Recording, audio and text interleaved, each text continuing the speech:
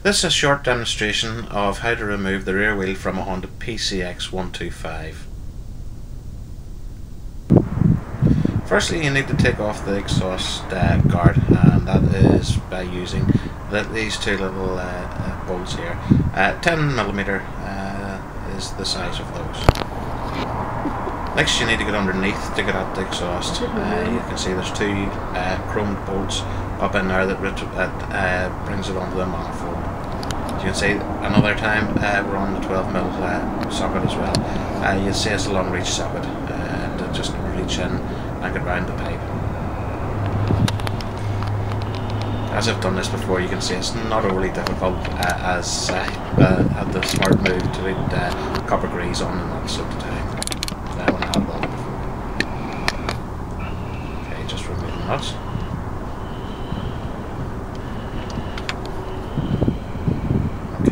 See, the copper grease still there.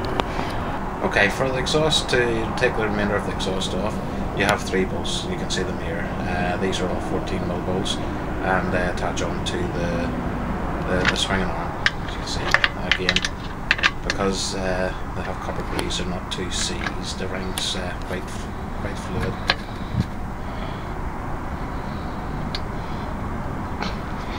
Quite difficult to hold a, a pocket camcorder in the hand and working a bike too, but I'm, doing my best here.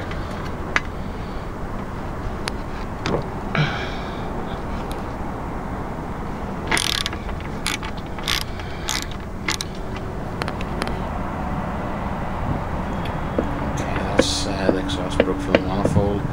Uh, just taking all that snot out. Uh, managed to take away the exhaust broke from the manifold. Uh, just take the last nut out, uh, managed to take away the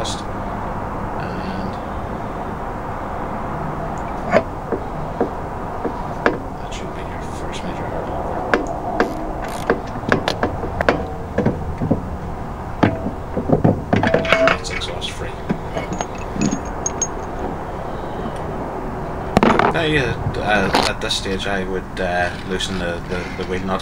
24mm spanner, uh, ring spanner is what I've used for this, if you have 24mm socket way to go. Um, then I remove the, the, the shock absorber. Uh, this again is another 12mm socket. Uh, off.